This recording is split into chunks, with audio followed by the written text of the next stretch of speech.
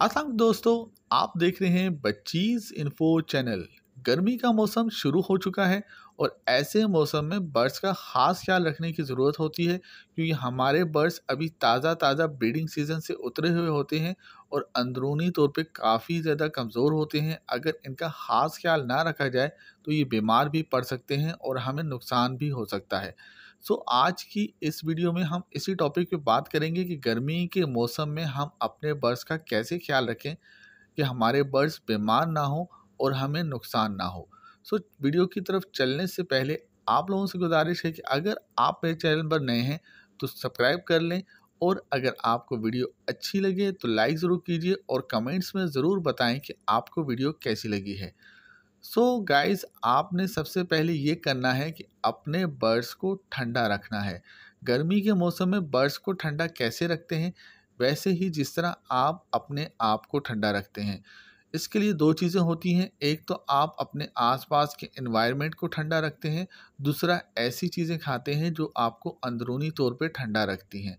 सो birds के साथ भी आपने यही करना है कि बर्ड्स के इन्वायरमेंट को आपने ठंडा रखना है और दूसरा इनको खुराक ऐसी देनी है जो इन्हें अंदर से ठंडा रखे। सो आज की इस वीडियो में ये दोनों चीज़ें आपको बता रहा हूँ।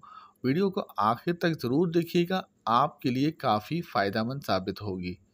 सबसे पहले बात करते हैं बर्ड्स के इन्वायरमेंट की। हमने अपने बर्ड्स को ऐसा माहौल देना है जहाँ बर्ड्स को ज़्यादा गर्मी ना लगे, क्योंकि अगर बर्ड्स को ज़्यादा गर्मी लगेगी तो बर्ड्स के बीमार होने के चांसेस इतने ही ज़्यादा होंगे।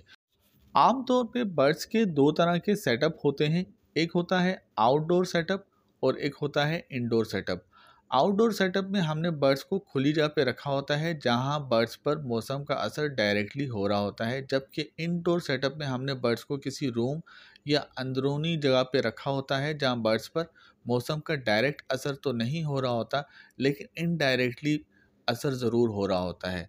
सो so, आपने ये करना है कि अगर आपने अपने बर्ड्स को खुली जगह पे रखा हुआ है तो कोशिश करें कि बर्ड्स के केजेस और पिंजरों के ऊपर कोई ऐसा शेड बना लें ताकि बर्ड्स के ऊपर डायरेक्ट धूप ना लगे और उन्हें ज़्यादा गर्मी महसूस ना हो। साथ ही अगर आपने इनडोर में अपने बर्ड्स रखे हुए हैं, किसी रूम या अंदर वाली जगह में अपने बर्ड्स को रखा हुआ है, जहाँ बर्ड्स को डायरेक्ट धूप या गर्मी नहीं लगती तो आपने इस बात को यकीनी बनाना है कि इस एरिए में हवा का गुज़र अच्छे तरीके से हो और वेंटिलेशन अच्छे तरीके से होती रहे ताकि बर्ड्स को हफ्स महसूस ना हो। साथ ही बर्ड्स को गर्मी से बचाने के लिए आप जो कुछ कर सकते हैं, वो आपने ज़रूर करना है। दिन में एक या दो दफ़ा आपने बर्ड्स पर पानी का स्प्रे लाजमी करना है। अगर आप बर्ड्स के आसपास पंखे या एयर कूलर लगा सकते हैं तो वो और भी अच्छा है। इससे बर्ड्स का इन्वायरमेंट ठंडा रहेगा और बर्ड्स को ज़्यादा गर्मी नहीं लगेगी। दूसरी चीज़ जिसका आपने बहुत ज़्यादा ख्याल रखना है, वो है बर्ड्स की खुराक। आपने बर्ड्स को गर्मी के मौसम में ऐसी खुराक नहीं देनी जिसकी तासीर गर्म हो। और साथ ही आपने इस बात का भी ख्याल रखना है कि बर्ड्स को ऐसी चीज़ें दें जिनकी तासीर ठंडी हो। ना सिर्फ़ ठंडी हो, जो कि बर्ड्स की बॉडी का टम्परेचर भी नॉर्मल रखें और इनके अंदर मिनरल्स और इलेक्ट्रोलाइट्स की कमी भी पूरी करती रहें।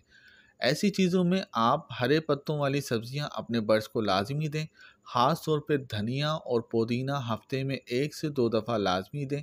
धनिया और पुदीने के पत्ते देने से आपके बर्ड्स का बॉडी टम्परेचर ना सिर्फ़ नॉर्मल रहेगा, बल्कि ये बर्ड्स के जिगर और मैदे को भी ठंडा रखेंगे, जिससे बर्ड्स का अंदरूनी निज़ाम बेहतर रहेगा और बर्ड्स गर्मी का मुकाबला करने के काबिल होंगे। आपने हफ़्ते में एक से दो दफ़ा अपने बर्ड्स को धनिया और पुदीने के पत्ते लाजमी देने हैं ये ना सिर्फ़ आपके बर्ड्स के बॉडी टेम्परेचर को नॉर्मल रखते हैं, बल्कि आपके बर्ड्स के जिगर और मैदे को भी ठंडा रखते हैं, जिससे बर्ड्स आपके गर्मी का मुकाबला करने के काबिल होते हैं। उम्मीद है कि आपको आज की वीडियो अच्छी लगी होगी। अगर वीडियो अच्छी लगी है तो लाइक ज़रूर कीजिएगा और कमेंट्स में ज़रूर बताएँ कि आपको वीडियो कैसी लगी है।